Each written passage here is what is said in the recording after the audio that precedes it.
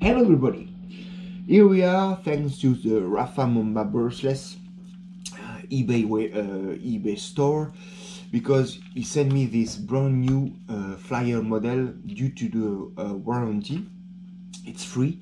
I haven't to send back my ESC so I will thank him but that's why this uh, video is supported by Rafa Mamba Brushless. So I can just advise you to contact him if you have any problem, uh, have any question for him. You can also contact directly Flier Model to uh, to have uh, to have some help because they are very available and they always answer you your question.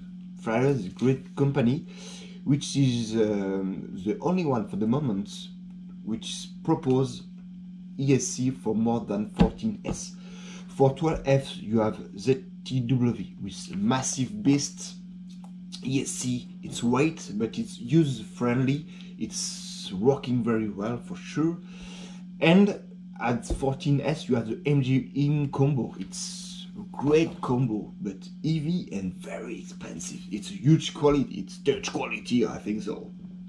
And but it's very expensive. And for me with the ESC you can have ESC up to uh, 28S I think so. But this one is for the price one of the best ESC I, have. But you have some setting up to do to make it working well. So first thing concerning the hardware you receive it without any connectors. So plan to buy your connectors with the ESC. Here you will plug the motor one and here you will plug the battery connectors. Here we have the plus of the ESC. Here we have the wire for the vent, for the cooling fan. Here we have the cable to program it because when you buy it you receive the USB dongle to go on the PC and with some soft available on the Flier download software you can program your ESC and make the update. You have two software to download. You have the Flier update software and the PCS to program it. Here we have the ESC connector for the receiver. Here we have the uh, anti-spark connection. This is the wire with some resistor sold in it to avoid any spark. When you use huge voltage, you have huge spark. We can destroy your ESC if you don't use it. So, for me, when you receive it, you have just to have do soldier job for sure. If you don't solve your connector, forget it or ask your friend to do it because you have a lot of job to do. First thing is to plug your connector. So if you use EST 19 for example you have to solve it with plus to the plus then put a y to the plus then put a y to the minus to the plus etc etc to arrive there ping to the minus. I put a plugged called AC uh, 150 amperes because here the, the, the plug are very protect and avoid any unexpected contact to grind your sparked ear. So I put it on the uh, black wired and the advantage is this anti-spark also plug so you have two systems but here we can now avoid or cut it but I let it because it's it's more easier. So you on the first plug you will weld weld the both wire on the minus here. And when you are plugged your motor plug here you will disconnect here you plugged all your battery and then you plugged the anti-spark one first and also then the always the big one here never in the other side okay?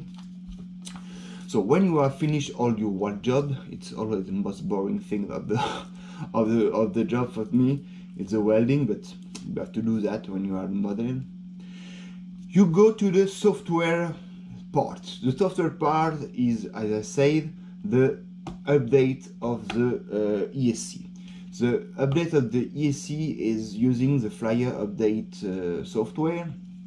And the software on the list you have to choose a car because you are car. They also made some ESC for boat and, and um, airplane but you have to choose the mm, model car 16S V uh, 511 or V51 only this software because this is a soft which uh, working well with the uh, car.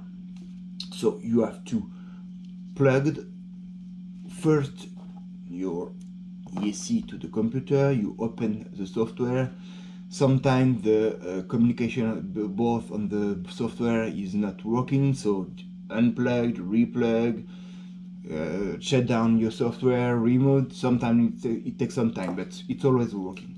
When you have the green flash put the good and the right software on the this ESC then you close your Flier update 3.0 and you go to the second software which is the PSC we can program all the, the, um, the setting point of this ESC. The things to know is um, the ESC has automatic set point, so you never do the calibration point. Okay. On the PS on the PSC software, you can set the cutoff voltage, you can set set the punch mode, you can set the um, frequency of the motor of the and the timing of the motor. You can also set the braking force. You can also set um, the power of the reverse etc etc but two things you have to know.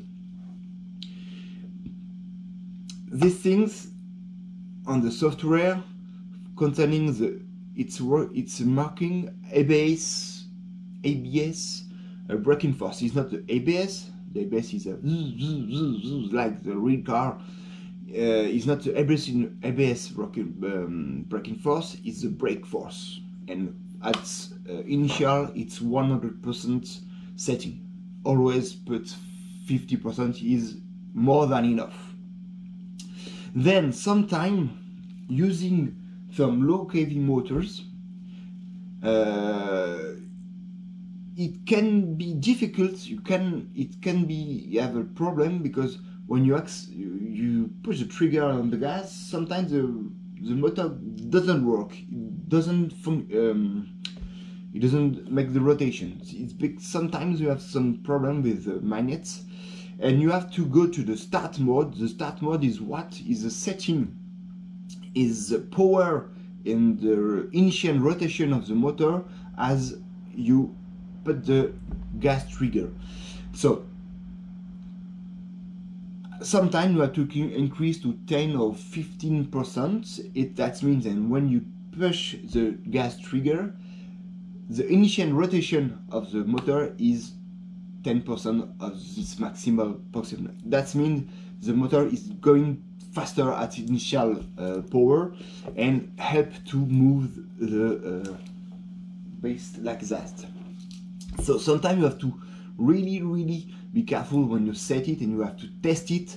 But it's always working, but sometimes it can be boring if you don't find the right setting, but you always find. You can ask me, you can ask to Flier, you can ask to Rafa Mamba Brushless.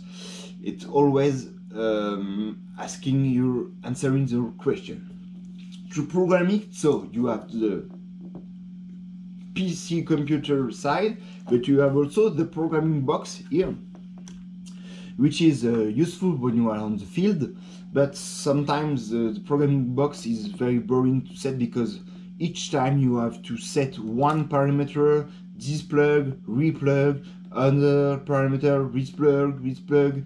Sometimes it's not very working very well, but it's working, it's very long. Sometimes I prefer to bring back my PC and make all the setting in ons and test it and groove it. So these things is very very interesting for the large scale part of our job and uh, for me it's a very great company with a very good support but you have to know that this is not a plug and play. You have really to set test your setting your um, programming uh, value etc etc don't forget to if you use anti-spark or don't forget